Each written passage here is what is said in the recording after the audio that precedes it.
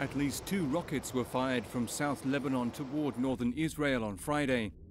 The first rocket, fired at 1:15 a.m., failed to launch. The second, fired a few hours later at 6 a.m., made its way from Majidieh into Israel. The rocket hit an open space near Kfar Yuval, but didn't cause any harm or damage. It remains unclear whether the projectile was a mortar shell or a rocket. As the conflict between Israel and militants in Gaza continues, Palestinian militants have prepared long range rockets, which are capable of reaching areas beyond Tel Aviv and Jerusalem.